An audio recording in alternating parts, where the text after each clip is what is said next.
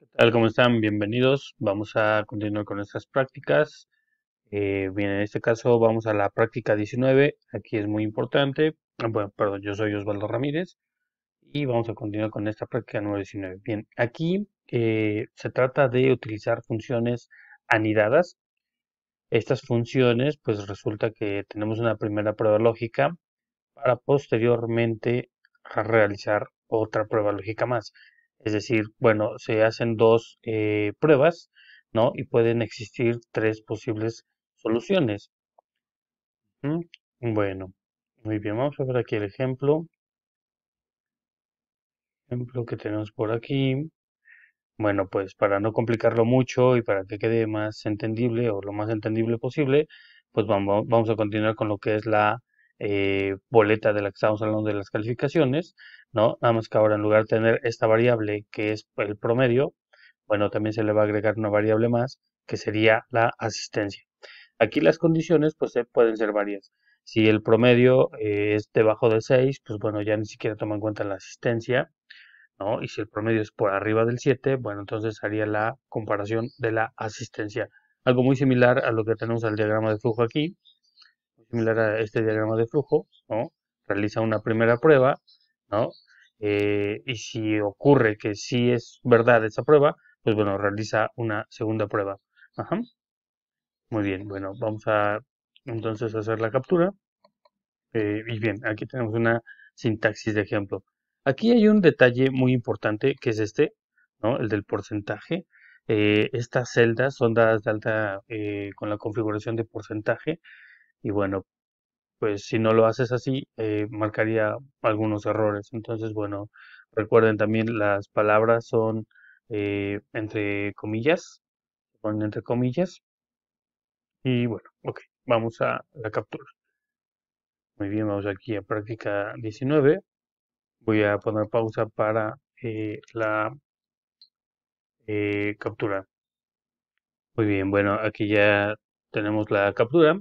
Eh, muy bien, vamos a poner aquí la función promedio. Esto sería igual a escribir promedio. Abrimos un paréntesis y el promedio de las notas. ¿Está? Perfecto, ya saben aquí ocupamos el control de relleno. Y muy bien, bueno, aquí en la situación, pues bueno, eh, vamos a ver nuestro ejemplo, ¿verdad? Que decía sí. Entonces la prueba lógica, primero es una prueba lógica. Si la eh, evaluación, si el promedio es, por ejemplo, menor que 7, bueno, en el ejemplo, voy a continuar en el ejemplo, menor que 7, eh, entonces, ¿no? Aquí recuerden la coma, eh, para algunos equipos apreciar a punto y coma, si es menor que 7, entonces, pues bueno, va a decir que es reprobado y ya no va a hacer ninguna otra prueba. Ahí está, ya lo solucionó. Si no fuese así, es decir, si la- el, el promedio fuera mayor que 7, entonces hace otra comparación. Si la asistencia ¿no? fue mayor que, lo ponemos mayor que el 80%, aquí, eh, bueno, yo declaré la celda como porcentaje y entonces, bueno, por eso es que es necesario ponerle el por ciento, si no les marcaría un error. Bien, bueno, si fuera mayor que el porcentaje, entonces, eh, pues vamos a ponerle que sí pasa, ¿no? Pasa. Y si no fuese así, entonces le ponemos, bueno, pues no pasa, ¿no? Muy bien, voy a cerrar los paréntesis, en este caso son dos, son funciones anidadas. Eh, dense cuenta que también da ayuda con el color, va ayudando aquí con el color Excel. ¿no? Le voy a dar Enter y vamos a rellenarlo. Muy bien. Bueno, aquí les, les comentaba que esto este, está, eh, bueno, con, con porcentajes.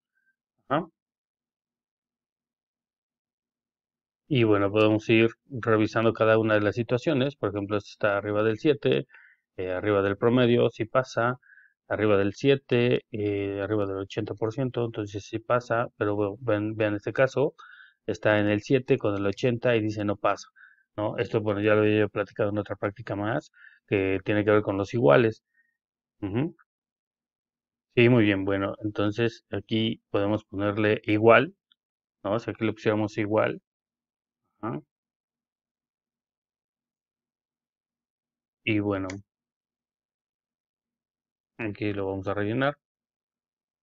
Y vean como aquí cambió, así pasa. Ya el 7 lo tomo en cuenta y aquí lo puse como si pasa. Bueno, voy a deshacer la acción para que se quede así como estaba. Eh, y bueno, este, este eh, pasa, vean este caso, por ejemplo, aquí este, bueno, está simplemente desde acá no, no fue posible tener esa mayor de 7, aunque tiene toda la asistencia y bueno, aparece como reprobado. Eh, bien, vamos por ejemplo a este que dice, mira, aquí es lo inverso al anterior, ¿no? Estos dos casos. Eh, tiene 9.33 que es superior a 7, pero no cumple con lo que es la asistencia, entonces no pasa. Bueno, muy bien. Aquí cabe eh, recalcar que las aplicaciones serán, pues les vuelvo a mencionar, los ejercicios aquí son pequeños para que veamos cómo funcionan o cómo van realizándose las funciones, las capturas, pero eh, bueno, cuando ya se dediquen en, su trabajo, empleo o, cualquier desarrollo profesional que tengan, pues utilizar las, eh, las funciones, ¿no? Y también pensando que estas bases de datos son pequeñas, ¿no? Los ejemplos, pero tendrán mucho más, eh, aplicaciones mucho más grandes. Muy bien, vamos a la que sigue. Práctica 20, vamos a ver pues la práctica 20. Y, ah, bueno, está, está muy fácil. Esto es para, está muy fácil. Eh, bueno, resulta aquí que eh, tenemos dos, dos eh, grupos, dos grupos de fútbol. y entonces, bueno, tienen aquí algunos marcadores. Y bueno, aquí queremos que aparezca el resultado. En el resultado queremos que aparezca el ganador. Muy bien, bueno, voy a poner pausa para la captura. Muy bien, bueno, ya tengo aquí la captura.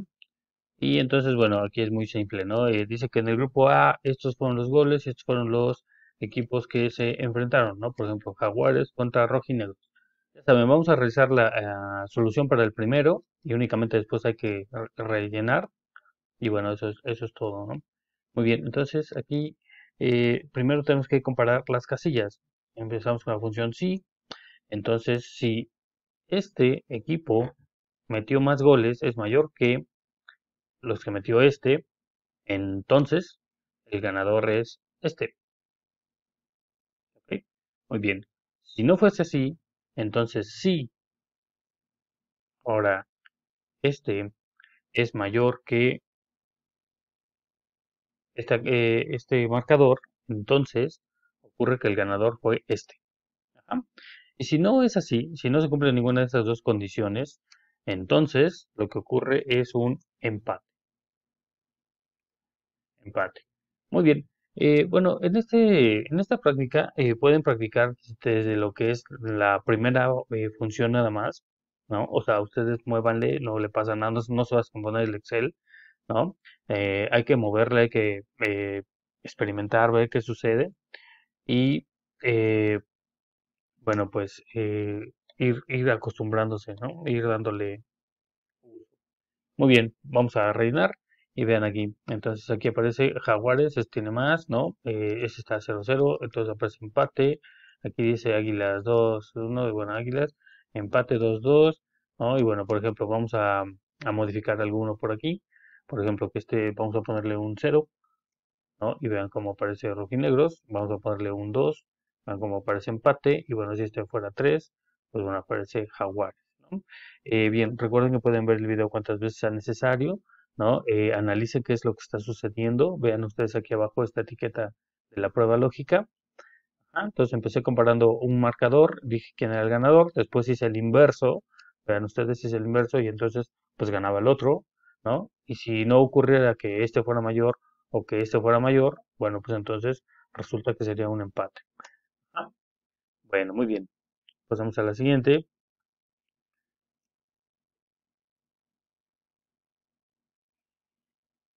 Práctica 21. Eh, muy bien, vamos a ver cuál es la práctica 21. Aquí tenemos... Muy bien. Ah, muy bien. Esta es una colegiatura. Esto es algo que... Eh, esto sí, bueno, ya es una aplicación de la vida real. ¿no? Esto lo ocupan muchas escuelas tal cual y en Excel tal cual. ¿vale? Entonces, por ejemplo, dice... Eh, el valor de la cuota de una colegiatura es 1500. Si la cuota se abona hasta el día 4, se hace un descuento del 5 abona después del día 10, pues bueno, se hace un recargo del 5. ¿Vale? Muy bien. La cuota son 1500. Muy bien. Bueno, voy a pausar para la captura. Muy bien, bueno, ya tengo aquí la captura. Eh, vamos a hacer la función. Eh, recordemos las condiciones. Las condiciones son que si se pagaba antes del día 5, eh, bueno, creo que puse 4 en el... Ajá, puse 4, pero bueno, yo voy a tomar en cuenta el día 5, en el ejemplo del video. y si se paga después del día 10, bueno, produce un recargo. Si se paga antes del día 5, pues produce un descuento. La cuota son 1500. Entonces, bueno, esto le ponemos que esto es igual. ponemos la función si. Entonces, ¿cuál sería la prueba lógica? Bueno, la prueba lógica es el día. ¿No? Si el día es menor que, vamos a ponerle menor que 5, ah, por eso ah, recuerden, aquí también podemos utilizar el igual, ¿no? Menor o igual que 5, ajá, si le pongo igual que 5, pues toma el 5. Si es menor que 5, pues tomaría el 4, 3, 2, 1. Ajá. Muy bien, entonces, bueno, si le ponemos que es menor que 5, entonces, ¿qué va a ocurrir? Bueno, pues va a cobrar la cuota, pero recuerden que este es en absoluto, entonces aquí hay que ponerle absoluto, cuota, menos la cuota la cuota, que sería el B3, la cuota por el 5%, ¿no? ¿Se entiende? Perdón. Ajá, ¿se entiende aquí? Eh, resulta que entonces, bueno, si es menor que el día 5, si D2 es menor que el día 5, entonces se cobra la cuota menos el 5% de la cuota. Ajá. Bien, le ponemos como aquí. Eh, después ponemos otra vez función si, abrimos un paréntesis, otra vez volvemos a comparar el día D2. Y D2 es mayor que el día 10 que hemos dicho, ¿no? Pues es, decir, si le pongo estrictamente mayor que el día 10, tomará 11, 12, 13, etc. Si le pongo que es mayor o igual al día 10, pues tomará desde el día 10, 11, 12, 12. ¿no? Muy bien. En este caso vamos a ponerle mayor al día 10. Ajá, que sea mayor al día 10 y entonces pues cobrará la cuota, cuota que es en absoluto y aquí es un más porque es un recargo más la cuota, la vuelvo a poner en absoluto, por el 10, no, perdón, por el 5%. Ahí está. Muy bien, entonces aquí analicemos, miren, ¿qué ocurre antes del día 5? ¿Qué ocurre después del día 10? Pero nos faltan los días 6, 7, 8, 9, ¿no? Que son los días intermedios. Bueno, pues ¿qué ocurre esos días? Pues simplemente esos días le va a cobrar la cuota nada más. Ahí no le vamos a hacer nada. Eh, recuerden aquí eh, ir revisando la sintaxis, ¿no? Eh, y bueno, aquí ya se complica un poquito más.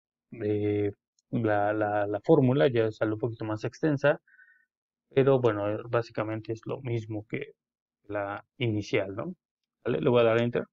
Bien, 1405, perfecto. Ese es el 5% que hace de descuento. Y simplemente lo voy a rellenar. En este caso, bueno, lo voy a rellenar hasta por aquí por el 15, ¿no? Bueno, ahí está. Entonces, bueno, eh, veamos, vean ustedes. Aquí, eh, la, antes del día 5 o hasta el día 5, porque le puse igual, pues nos cobra eh, un descuento. ¿no? Muy bien. Y del día 6 al día 10, recuerden que en el día 10 no le puse igual, vean ustedes como no lo está tomando en cuenta, a partir del día 10 hace el recargo, ¿no? Y bueno, quedaría algo así la práctica. Aquí es importante que noten las, condiciones. Eh, esto, esto yo regularmente lo ocupo mucho en examen también, ¿no? Porque le puedes variar las condiciones y el alumno tiene que decidir eh, cómo tiene que hacer la función, ¿no? Eh, por ejemplo, si le pusiéramos que hasta el día 7 hiciera el descuento y que del día 7 al día 14 pague colegiatura normal y que del día 15 en adelante pagase un recargo, ¿vale? Muy bien. Muy bien, bueno, pues eh, nuevamente el video ya está cumpliendo cerca de los 15 eh, minutos. Yo siempre hago videos de 15 minutos. Entonces, bueno, vamos aquí a poner práctica, práctica 22. Y bueno, pues muy bien. Esta la vamos a dejar como reto, ¿vale? Esta la vamos a dejar de totalmente de tarea. Y bueno, pues ahí vamos a ver qué tanto eh, fueron comprendiendo hasta el día de hoy las, las actividades que fuimos haciendo.